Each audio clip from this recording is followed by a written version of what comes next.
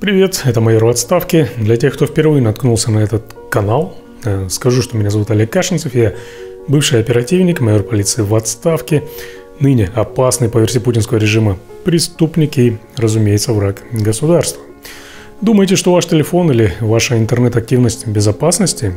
Что если я скажу вам, что прямо сейчас кто-то читает ваше сообщение или слушает ваш звонок? Удивились? Полагаю, что вряд ли. Разумеется, сейчас, в 2024 году, когда Путин устроил безумную преступную войну, а его критиков уже не просто сажают в тюрьму, а убивают, любой адекватный человек в России понимает, что если вы не принимаете меры безопасности, то ни о какой тайне телефонных переговоров или сообщений речи идти вообще по умолчанию не может.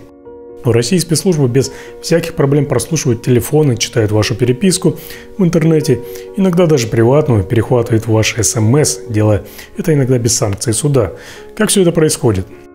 Вы наверняка слышали о такой системе, как SORM. Я знаю, как работают эти системы, и сегодня немного расскажу вам, как ФСБ использует SORM для тотального контроля. Ведь каждый из вас может быть под прицелом этой системы прямо сейчас, даже не зная об этом. Как всегда, досмотрите это видео до конца, поставьте лайк, поделитесь им и подпишитесь на этот канал, если вы все еще не сделали этого. Итак, поехали. Итак, э, монополия на такие оперативно-технические мероприятия, как прослушка или снятие информации с технических каналов связи и прочее, что связано с телекоммуникационными сетями, э, принадлежит ФСБ. Даже МВД, когда проводит данное мероприятие, делает это не напрямую у операторов связи, а через ФСБ. В МВД, например, есть подразделение, которое отвечает за все, что связано с прослушкой и другими оперативно-техническими мероприятиями. Называется оно БСТМ.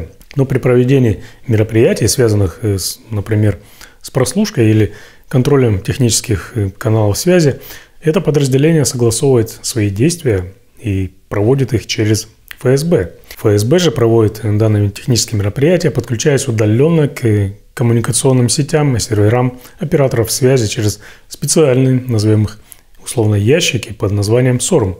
SORM расшифровывается как система оперативно-розыскных мероприятий. Оператор при этом даже не знает, когда и в отношении кого происходит снятие информации или прослушивание телефона. Оператору связи даже не показывает постановление на разрешение проведения данных мероприятий, поскольку он не имеет доступа к гостайне. СОРМ действует на основании нескольких законов. Лицензия на деятельность в области связи в России обязывает операторов устанавливать технические средства СОРМ э, в своих сетях. Так, после получения лицензии оператор обязан в течение 45 дней э, обратиться к ФСБ, где ему назначат уполномоченного для дальнейшего взаимодействия по вопросам СОРМ. В соответствии с планом оператор должен установить оборудование СОРМ за свой счет, после чего проводится его тестирование и ввод в эксплуатацию. SORM включает в себя следующие элементы. Это пульт управления, устанавливается он органами ОРД за государственный счет у оператора связи. Съемник – это техническое оборудование, серверы, коммутаторы, устанавливаемое э, в сети оператора за его собственный счет. Каналы связи, в том числе VPN, который соединяет пульт управления и съемник. Организация этих каналов также ложится на оператора. Существует три основные версии системы SORM. Это SORM-1 – простой перехват телефонных разговоров – SORM-2 – это тоже перехват телефонных разговоров, плюс еще контроль интернет-трафика и содержимого соединений. И SORM-3 – это система, включающая в себя все названное, плюс еще система, которая включает базы данных, сохраняющие всю информацию о пользователях. А согласно пакету Яровой, операторы обязаны хранить текстовые сообщения, голосовую информацию, изображения, звуки, видео пользователей в срок до 6 месяцев. Далее кратко расскажу об истории создания, развития этих черных ящиков. СОРМ была создана в 1995 году в рамках стремления государства обеспечить контроль над телекоммуникациями и упростить способы прослушки телефонных разговоров в рамках оперативно-розыскной деятельности. Это произошло вскоре после распада Советского Союза, когда российские спецслужбы начали модернизацию системы оперативно-технических мероприятий, чтобы адаптироваться к новым технологическим реалиям. Первые версии SORM были направлены исключительно на перехват телефонных разговоров. Ведь интернет в том смысле, в котором его понимают сейчас, в России тогда еще не функционировал. Э, российские операторы обязаны были установить специальные устройства, которые э, передавали данные ФСБ, позволяя тем самым спецслужбам мониторить звонки граждан без необходимости уведомлять оператора о конкретных запросах. SORM стал первым шагом на пути к созданию всепроникающей системы слежки, которая впоследствии будет расширена до мониторинга интернета и сообщений в реальном времени. Первая версия SORM, это SORM-1, фокусировалась, как я уже сказал, исключительно на перехвате телефонных звонков. Э, в России того времени ничем другим заниматься SORM в принципе было и не нужно. Сотовая связь только еще делала первые шаги и не была распространена, а контроль интернет-трафика в то время осуществлялся в основном за счет перехвата спецслужбами общих цифровых потоков со спутников. Операторы связи в обязательном порядке устанавливали оборудование SORM-1 для отслеживания и записи всех телефонных разговоров, которые могли быть использованы в качестве доказательств в уголовных делах. Главной задачей на данном этапе была борьба с преступностью и терроризмом, однако со временем система, как вы видите, приобрела репрессивный характер. С развитием интернета и цифровых технологий в России появилась необходимость обновить СОРМ для работы с новыми видами коммуникаций. Э, в 1998 году была представлена SORM-2, которая позволяла спецслужбам перехватывать уже интернет-трафик, включая электронную почту, сообщения о первобытных мессенджерах и браузерную активность пользователей. Э, в 2000 году она была внедрена. SORM-2 значительно расширил возможности государства по контролю над гражданами, так как интернет все больше становился неотъемлемой частью повседневной жизни. А теперь спецслужбы могли следить за объектами своих разработок, в том числе и через их онлайн-активность. Э, российское законодательство также изменилось, и интернет-провайдеры уже под угрозой санкций были обязаны устанавливать SORM-2, э, которая напрямую подключалась к спецслужбам. Это давало органам власти больше возможностей контролировать интернет-трафик без необходимости направлять запросы к самим провайдерам. Третья версия системы SORM, SORM-3, э, появилась в 2014 году в связи с ростом использования цифровых технологий и ужесточением контроля над интернетом. Эта версия системы с периодическими обновлениями действует до настоящего времени. SORM-3 позволяет не только перехватывать телефонные звонки и интернет-трафик, но и собирать данные о пользователях э, в социальных сетях, например, мессенджерах и других цифровых платформах. Часть оборудования для этого также установлена на серверах российских социальных сетей, например, ВК. Кстати, в чем опасность ВК, я уже рассказывал в своих прошлых э, видеороликах, можете посмотреть их по ссылкам в описании. В то же время законы, которые регулировали использование системы, также изменились в сторону упрощения работы спецслужб.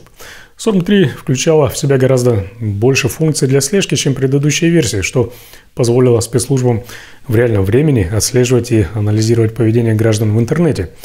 В настоящее время новые технологии позволяют сохранять огромные объемы данных, что делает возможным использование данных даже спустя длительное время после их перехвата. Технически SORM представляет собой сеть устройств, э, подключенных к телекоммуникационным и интернет-провайдерам, которые передают данные в центры обработки информации ФСБ. Оборудование SORM размещают в закрытых опечатанных помещениях, доступ к которым имеют только уполномоченные сотрудники силовых органов. Представители операторов связи лишены как физического, так и удаленного доступа, хотя именно на их средства осуществляется установка и обслуживание этого оборудования. Как только данные попадают на серверы, они могут быть проанализированы и использованы для оперативно-розыскной деятельности. Это означает, что спецслужбы имеют прямой доступ ко всем звонкам, сообщениям и интернет-активности граждан. Кроме того, утечки данных из сетей крупных провайдеров, таких, например, как МТС и Билайн, демонстрируют, что многие операторы телекоммуникаций еще и дополнительно сотрудничают со спецслужбами для обеспечения доступа к данным пользователей. Это делает системы слежки еще более эффективными и позволяет государству собирать колоссальные объемы информации. В 2019 году в рамках SORM третьего поколения была внедрена система SORM ORI, которая устанавливается на серверах организаторов распространения информации, сокращенно ORI. Интернет-сервисы, зарегистрированные в реестре ORI, обязаны внедрять специальные аппаратно-программные комплексы SORM ORI, обеспечивающие сбор и передачу данных о действиях пользователей в их сетевых сервисах спецслужбам. Интернет-сервисы, включенные в реестр, обязаны предоставлять государственным органам данные о действиях пользователей, включая факты передачи, приема, обработки голосовой информации, текстовых сообщений, изображений, звуков и видео. Также среди обязательных данных это информация, необходимая для декодирования электронных сообщений, то есть это ключи шифрования, и события, зафиксированные в системных журналах. Что это означает на практике? На практике это означает, что интернет-платформы, зарегистрированные в таком реестре, то есть в реестре ОРИ, становятся частью системы массовой слежки. Службы, такие как ФСБ, могут получать данные напрямую через эти комплексы, не раскрывая операторам или интернет-сервисам, кого они конкретно отслеживают. Даже зашифрованный трафик, передающийся между пользователем и таким сервисом, например, может быть расшифрован, поскольку ФСБ имеет доступ к ключам. Таким образом, ФСБ имеет доступ к огромному объему данных без необходимости предоставления санкций суда интернет-провайдерам, что делает процесс менее прозрачным даже для тех, кто управляет этими сервисами. Ну, а, например, ВК, который уже давно находится в этом реестре, еще и сам давно активно сотрудничает с органами. Система SORM должна обеспечивать бесперебойное подключение к пультам управления и круглосуточный удаленный доступ к данным в реальном времени, а также к собранным и сохраненным данным для ФСБ.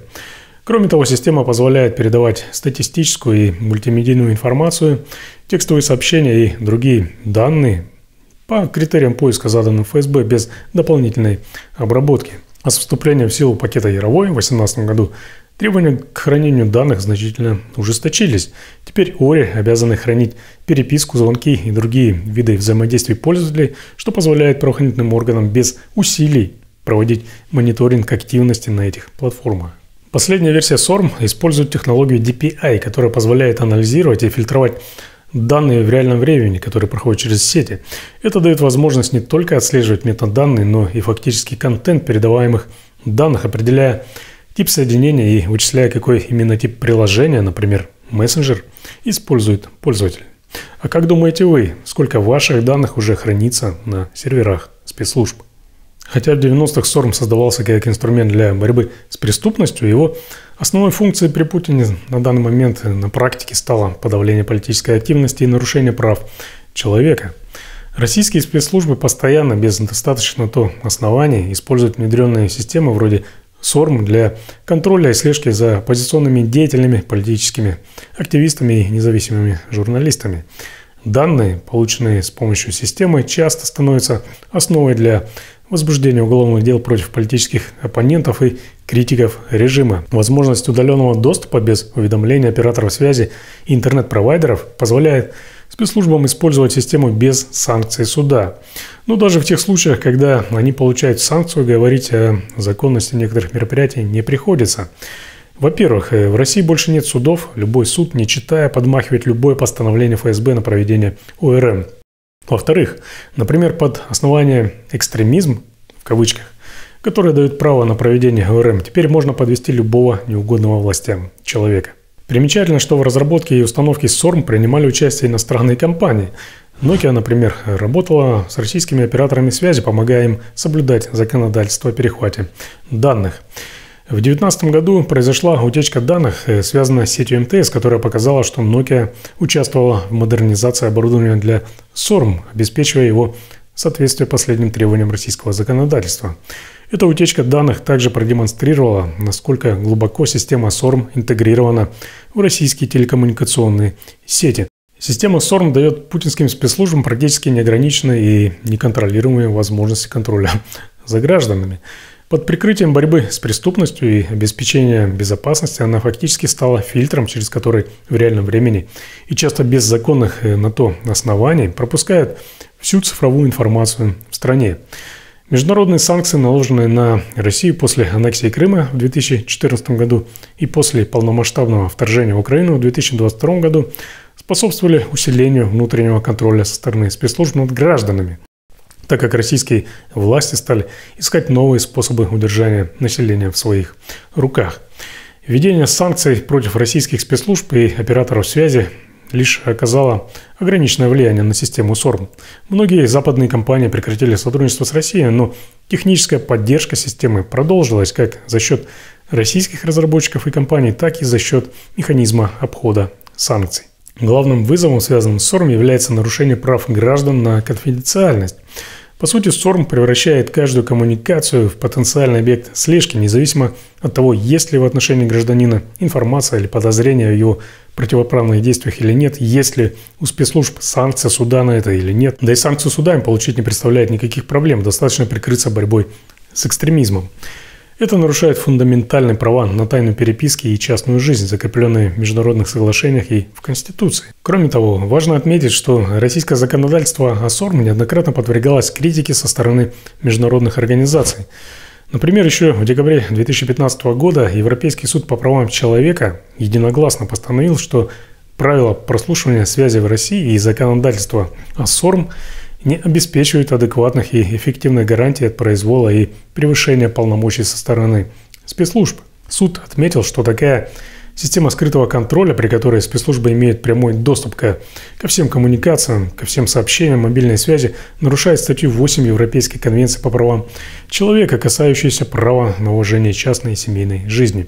Однако российские власти вполне ожидаемо только продолжают расширять полномочия своих спецслужб, что только усугубляет проблемы с конфиденциальностью. Чтобы снизить свои риски, находясь в России, нужно позаботиться о своей цифровой безопасности. На сегодняшний день существует множество методов, которые помогут защитить личные данные и сохранить анонимность в интернете.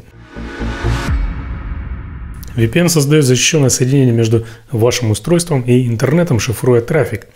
VPN маскирует также реальный IP-адрес, что затрудняет идентификацию вашего местоположения и отслеживание интернет-активности.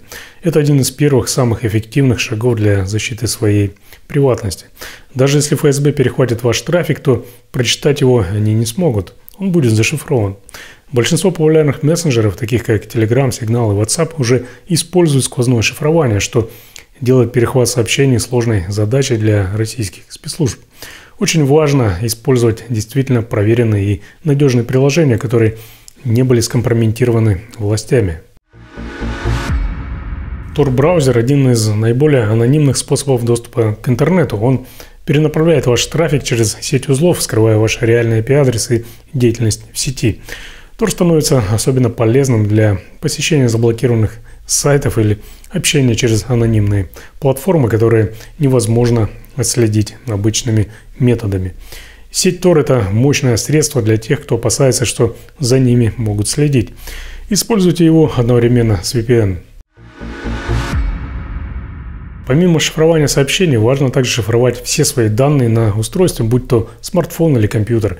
Если ваше устройство попадает в руки российских спецслужб, шифрованные данные будут гораздо сложнее взломать и использовать против вас. Э, регистрация аккаунтов в соцсетях или мессенджерах под псевдонимами или с использованием временных email адресов также поможет скрыть вашу реальную личность. Но помните, что одного лишь этого, то есть одного выдуманного имени, недостаточно. Кроме того, не забывайте использовать двухфакторную аутентификацию, которая добавит дополнительный уровень защиты от взлома аккаунта. Кстати, насчет двухфакторки и прослушки. Незадолго до моего отъезда из России э, спецслужбы России пытались взломать мой аккаунт в Telegram. Э, мой телефон тогда находился на прослушке, и, соответственно, все смс тоже перехватывались. Тогда спецслужбы попытались активировать мой аккаунт э, Telegram на своем устройстве, то есть на своем телефоне. Им удалось перехватить смс с кодом для активации аккаунта на другом устройстве, то есть на своем.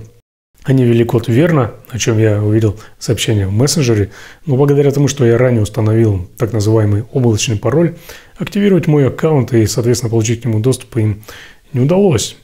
Короче, если бы я не установил эту двухфакторку, то этим клоунам удалось бы получить доступ ко всем моим сообщениям, контактам и так далее. Для сообщения по телефону лучше всего использовать одноразовые сим-карты или виртуальные номера. Обычно мобильные сотовые сети легко отслеживаются, и через них можно вычислить местоположение пользователя. Поэтому для важных разговоров старайтесь использовать шифрованные звонки через приложения, поддерживающие такую возможность. Использование всех этих мер позволит э, существенно снизить риски слежки и преследования со стороны репрессивных органов. В условиях тотальной слежки важно помнить, что личная безопасность – это не роскошь, а необходимость, и каждый шаг в защите своих данных может оказаться решающим. SORM – это довольно-таки мощная, всепроникающая система слежки, которая стала важным инструментом контроля и репрессий в руках преступного режима ватного фюрера. Она позволяет российским спецслужбам контролировать телефонные звонки, интернет-активность и сообщения граждан в реальном времени. Соблюдайте правила цифровой безопасности, это увеличит ваши шансы на то, чтобы не стать жертвой российских спецслужб. Ведь в то время как цивилизованный мир развивает технологии в интересах и во благо Общество, мечтая, например, о полетах на Марс или находя новые лекарства от смертельных заболеваний, Путинское государство активно развивает системы контроля над обществом, мечтая только о личной пожизненной власти и вбухивая на так называемую нацоборону и в свою безопасность триллионы. У меня на сегодня все. Если у вас есть что сказать по этой теме, оставляйте свои комментарии под этим видео. Будет интересно услышать ваше мнение. Становитесь спонсорами канала и жмите на кнопку «Спасибо» под этим видео. Ну а для получения оперативной информации не забывайте подписываться на мой телеграм-канал, ссылка есть в описании. Информация там обновляется каждый день. Разумеется, ждите новых видео, ну и как всегда, ставьте лайки, делитесь этим видео и подписывайтесь на этот канал. Здесь вас никто не обманет.